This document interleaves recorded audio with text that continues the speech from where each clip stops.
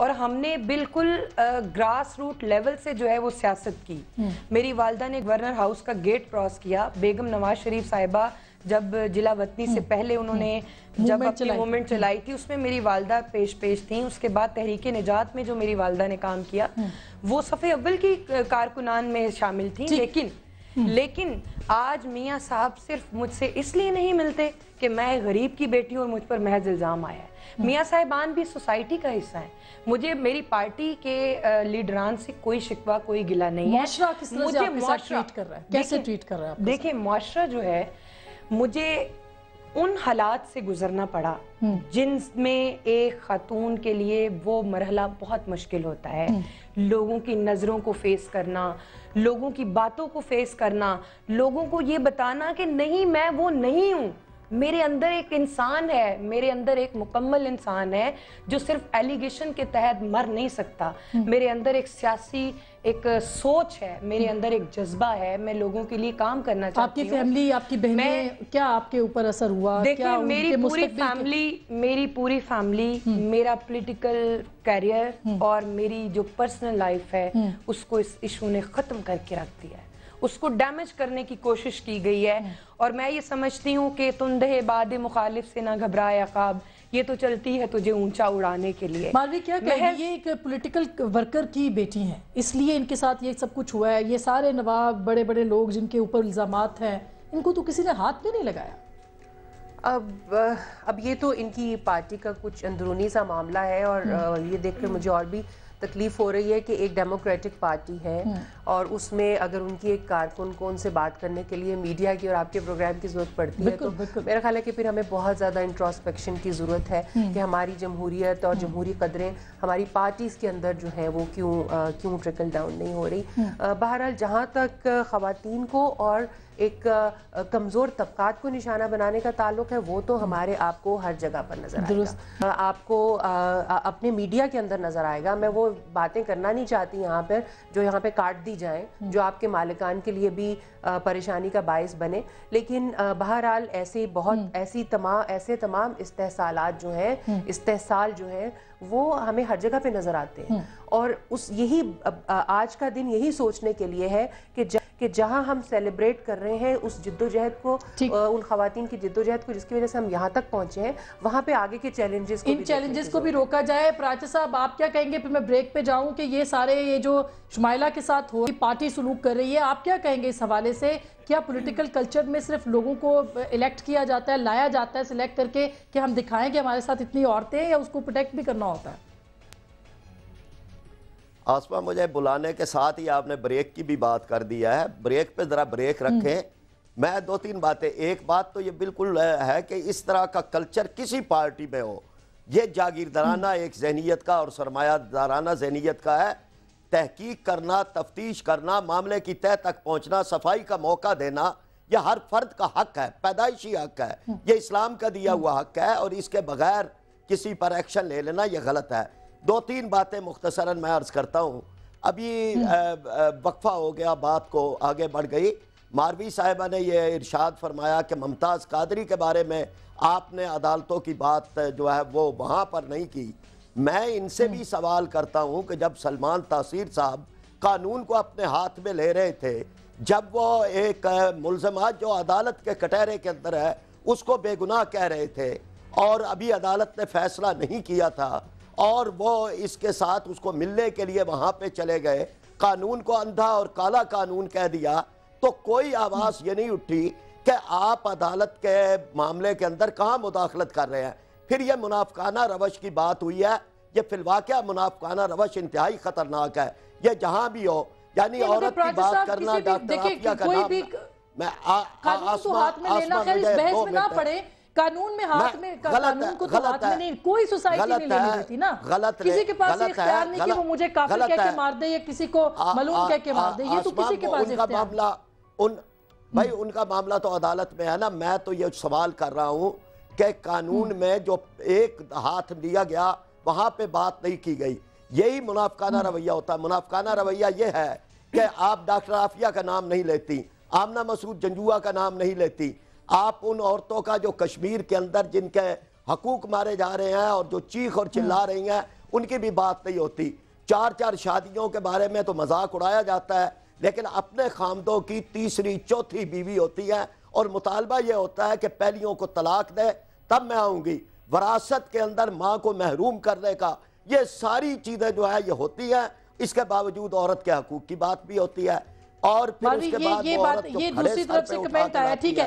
तो साहब मैं मारवी भी कुछ कहना चाह रही अच्छा, है से वो कह रहे हैं कि ए- जो है यहाँ पे। जी जी साहब आपकी आसमा- बात। आसमा, मैं- हाँ मैं- जी। मैं नहीं एक दो बातें मुख्तसरन मैं, मैं ज़्यादा लंबी बात कभी नहीं करता।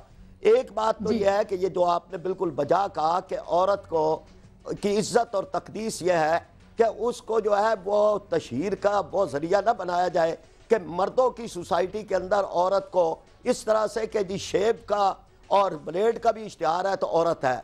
और ये कौन सी औरत की इज़्ज़त है कि उसका कहा जा रहा है किन्ने किन्ने जाना बिलो दे घर? ये कहीं जो है ये किसी मुआशरे के आप भी लगता है का शो देखते हैं। नहीं आप भी देखते हैं लेकिन मैं- बता नहीं रहे इस वक्त आप। मतलब बात कर रहे हैं लेकिन तनकीद कर रहे हैं लेकिन मानते नहीं है। मैं मैं तो ये बात करता हूँ कि औरत की इज़्ज़त होनी चाहिए एहतराम। हमारी तो निगाहें झुक जाती है।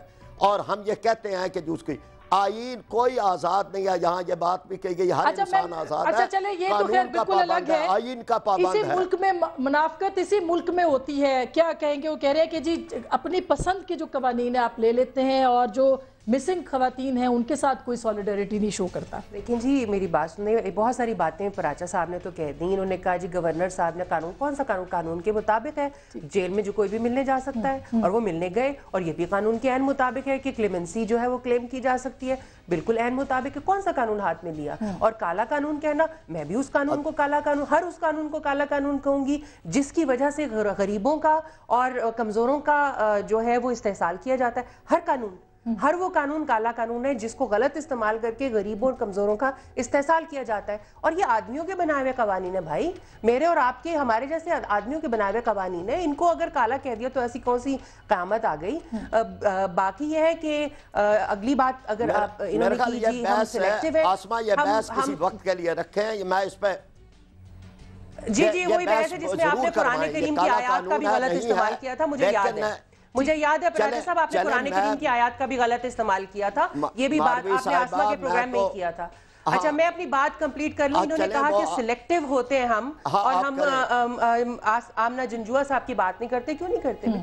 जब हम- जब बलोच मिसिंग पर्सन की बात थी तो यहाँ पर हम खड़े हुए थे हम्म। पार्लियामेंट हाउस के सामने हमारे साथ और कोई साहब नहीं आए थे तो हम तो हर हम तो हर जहाँ पर भी इस्तेसाल होता है हम कमज़ोर के साथ खड़े हुए होते हैं।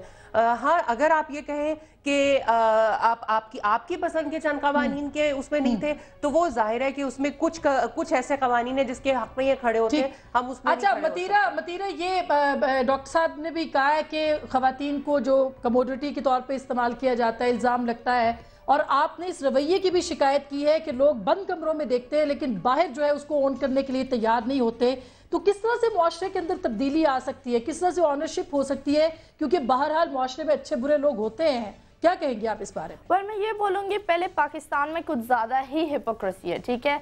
अ, मैं किसी के ऊपर इल्ज़ाम बिल्कुल नहीं लगाऊँगी बट इन्होंने बोला था एक खातून आती है उस कमर्शियल में। देखे किसी भी मीडिया में ना किसी भी खातून को फोर्स नहीं करा जाता ठीक है? मीडिया बहुत साफ़ है। जिस तरह लोग प्रिडिक्ट करते हैं और बोलते हैं मीडिया की लड़कियाँ इस तरह होती है उस तरह होती है इट्स एब्सोल्युटली रॉन्ग मतलब यू you नो know, जिस तरह लोग बोलते हैं अगर आपको कमर्शियल करना है तो आप करेंगे। लाइक सर हर इंसान आज़ाद है। एंड uh, अगर खातून को करना होगा वो करेगी। अगर नहीं करना होगा नहीं करेगी। So it's up to you आप खुद लिमिट्स बनाते हैं। दैट्स व्हाट आई थिंक ठीक है ये क्यों ये ये शख्सी आज़ादी नहीं होनी चाहिए इसमें पराचा साहब अगर किसी का दिल चाहता है खुद को इस तरह लाने का तो उसमें क्या मुआशरे के अंदर शख्सी आज़ादी भी तो कोई हैसियत रखती है ना? आसमा मुआशरे में कानून किस लिए होता है आइन किस लिए होता है? किसी ये आज़ादी नहीं है कि मेरा माल उठा के ले जाए। किसी को ये आज़ादी नहीं है कि मेरे साथ जो है वो कोई जुल्म करे। किसी को ये आज़ादी नहीं है कि वो आइन को वायलेट करे। आइन पाकिस्तान के अंदर जो चीज़ है यहाँ तो ये कह दिया गया कि ये ज़ियाउल हक ने जो है रियासत को मदद के साथ जोड़ दिया और सियासत है। ये जुल्फ़ार अली भुट्टो साहब के ज़माने में, उन्नीस सौ तिहत्तर के अंदर आइन बना है ज़ियाउल हक के दौर में नहीं बना। उसके अंदर इस्लाम को रियासत का सरकारी मज़हब करार दिया गया, मुल्क को इस्लामी जमहूरिया पाकिस्तान करार दिया गया। करारदाद मकासद जो है, ये लियाकत अली खान के दौर के अंदर पास हुई और असेंबली ने की। यानी असेंबली नहीं मगर उसी में इंसानी हुकूक भी तो है ना उसी में इंसानी हुकूक भी तो है ना प्राची साहब कि इंसान को हुकूक भी तो दिए जाते हैं आइन और कानून इंसानी हकूक अब बिल्कुल आइन और कानून के अंदर बिल्कुल मिलने चाहिए। कोई इंसानी हकूक को वायलेट करने की ज़रूरत करेगा। सबसे आगे हम खड़े हो गए। ये कोई मज़ाक नहीं है कि यानी इंसानों का को लोग जो है वो समझे कि न किसी की जान की कीमत है न माल की कीमत है ना इज़्ज़त की कीमत है ना आबरू की कीमत है। अपनी अदालतें लगा दे जैसे कारोकारी हो रहा है। ज़िंदा दफन जहाँ दिल चाहता है अपने लिए आयतें बोल ली जहाँ दिल चाहता है कुछ और बोल लिया मज़हब को अपने लिए भी तो इस्तेमाल किया जाता है ना। ये क्लैरिक्स जो है यही काम मज़हब तो है। ही आसमा मज़हब तो है ही इसलिए कि इस पे अमल किया जाए। अभी आपकी कितनी इज़्ज़त है? यानी कोई मीडिया के हर आदमी के बारे में कत्ल कोई नहीं आपकी हर आदमी आपकी इज़्ज़त करता है। इज़्ज़त करनी चाहिए। औरत की। और ये बात कि आज़ादी है आज़ादी उस दायरे के अंदर ही है जो आज़ादी जो है वो आइन ने दी है या मज़हब ने दी है उसके बाहर नहीं है। लेकिन ये तो मेरा पर्सनल हक है जो कि मैं इस्तेमाल कर रही हूँ। मतीरा को उसका पर्सनल हक क्यों नहीं इस्तेमाल करने दिया जाता? या मारवी अपना शख्सी आज़ादी का हक क्यों नहीं इस्तेमाल कर सकती? जी सॉरी प्लीज़ रिपीट देखे ना जी ये अभी अभी अभी बहस जो है वो इस दर्जे के अंदर नहीं है। कि एक इस्लामी रियासत हो तो वो एक कल्चर बना देती है जिसमें हर एक के लिए ये आसान हो जाता है कि वो उस कल्चर के अंदर रहे। अभी वो कल्चर नहीं है इसलिए ये हम्म। बात का एक फ़र्क महसूस होता है। हम ये समझते हैं कि एक ऐसा कल्चर होना चाहिए जिसमें औरत की हम्म। इज़्ज़त हो हया हो उसके साथ लोगों की निगाहें झुक जाएँ उसका अच्छा, एहतराम करें उसको वो माँ बहन बेटी की हैसियत से दुरुस्त बात है दुरुस्त बात है लेकिन शुमाइला अब मैं चूँकि मारवी शुमाइला का मामला बड़ा सेंसिटिव है कि इनको बिल्कुल बीच में छोड़ दिया है इनकी पार्टी ने आप क्या मुतालबा करती हैं अपनी पार्टी से देखिए मेरी पार्टी से भी मुतालबा है और मेरा सोसाइटी से भी मुतालबा है हम्म। कि अगर एलिगेशन की बुनियाद पर किसी को मुजरम करार ना दिया जाए हम्म। और उसको वो मुजरम करार देने की जो सलाहियतें हैं वो कोर्ट्स के पास हैं वो राइट्स जो हैं वो अदालतों के तो पास आप करेंगे उन सब लोगों को जिन्होंने आपकी कैरेक्टर असैसिनेशन की आपको मुजरम बना दिया बिल्कुल मैं मैं उन लोगों को एक ये सबक के तौर पर मैं उन लोगों को ये नोटिस भिजवाना चाहती हूँ हम्म। ताकि वो किसी की बहन बेटी को इस कदर जलील ना करें हम्म। कि माशरे में उसके लिए खुदकुशी जो है वो उसका मुकदर बन जाए हम्म। सारी खातन शुमाइला राना नहीं होती मुआरे में जो खातन है ये बेरा रवि की तरफ़ चल निकलती हैं खुदकुशी उनका मुकदर बन जाती है। या वो और कोई ऐसा रास्ता इख्तियार कर लेती है मैं ये समझती हूँ कि मेरा मुतालबा जायज़ है कि जब मेरे मुझ मुझ पर इल्ज़ाम लगा और वो और अदालत ने अदालत ने मुझे बेगुना करार दे दिया मीडिया ने मुझे मुजरम बना दिया पार्टी ने मुझे मुजरम बना दिया और जो बैठे ही इसी काम के लिए हैं हम्म। कि हमने यहाँ पे हक और सच का फैसला करना है और मुकम्मल ट्रायल के साथ आपको एक मैं यहाँ पे इबाम दूर करती जाऊँ हम्म। मीडिया का भी और लोगों का कि मेरे केस में मेरी कोई सुलह मुदई से नहीं हुई हम्म। मुदई जो जारा मलिक है वो खातून कभी कहीं किसी चैनल पे किसी हम्म। जगह पर वो नहीं आई। सिर्फ़ तकलीफ़ है तो उसके बहनोई को है वो क्यों है वो आप भी समझती हैं आप भी एक खातून है मैं भी एक खातून हूँ उनको क्यों ये पर्सनल ग्रज है उन्होंने ये सारा मामला किया उसके बाद। जब मीडिया भी अपना काम कर चुका, अदालत भी कर चुकी, पार्टी भी कर चुकी और अहम रोल जो है वो अदालत का है। हम्म। अब अदालत बेगुना करार दे देती है तो इसका मतलब है कि मुझे मेरी उसी पोर्टफोलियो पे उसी रिस्पेक्ट उसी इज़्ज़त में वापस लाया जाए। मैं आप सबसे पूछती हूँ हम्म। आप खवतीन है। मैं सबसे पूछती हूँ कि मैं अब कहाँ स्टैंड कर रही हूँ? आप लोग मुझे बताएँ कि मैं कहाँ पे जाऊँ कहाँ से अपनी इज़्ज़त वापस लेकर आऊँ कहाँ से अपनी वही चीज़ें दोबारा वापस लेके आऊँ? क्या ये माशरे का अलमिया नहीं है? हम्म। क्या ये ज़िम्मेदारी आप लोगों पर सिविल सोसाइटी पर मेरी पार्टी पर और मीडिया पर इम्प्लीमेंटेशन इनकी नहीं होनी चाहिए कि मुझे अब जवाब दें कि मेरा जवाब किसके पास है? जी बिल्कुल। बिल्कुल मैं मैं आसमा ये कहना चाहती हूँ कि आज के दिन के मौका पर हमारे सामने एक बहुत बड़ा चैलेंज है एक तो जो शुमाइला लेकर आई हैं वो ये है कि अगर ये रिज़र्व सीटें तो मिल गई औरतों को लेकिन उससे आगे जमहूरियत में खातन के किरदार को कैसे मुस्तकम किया जाए उसके लिए ज़रूरत है कि कुछ और काम किया जाए बड़ा चैलेंज है आसिया बीबी जो आज तक जेल में है और जिसके ऊपर कोई बात भी नहीं कर पा रहा। ठीक आसिया बीबी और शुमाइला हमारे लिए बहुत बड़ा चैलेंज है बहुत बहुत शुक्रिया बहुत बहुत शुक्रिया सबकी तशरीफ़ आवरी का मतीरा। थैंक यू वेरी मच आपने हमें ज्वाइन किया डॉक्टर साहब आपका बहुत बहुत शुक्रिया शुमाइला और मारवी का भी। हमने कवानीन बना दिए, बहुत सारे कवानीन बन गए, औरतों के हकूक़ के अलम भी उठा लिए, लेकिन उनको तहफ़ कौन देगा? उनको मकाम कौन देगा? शुमाइला राना को इंसाफ कौन देगा? क्या उनकी जमात देगी? फैसला आप।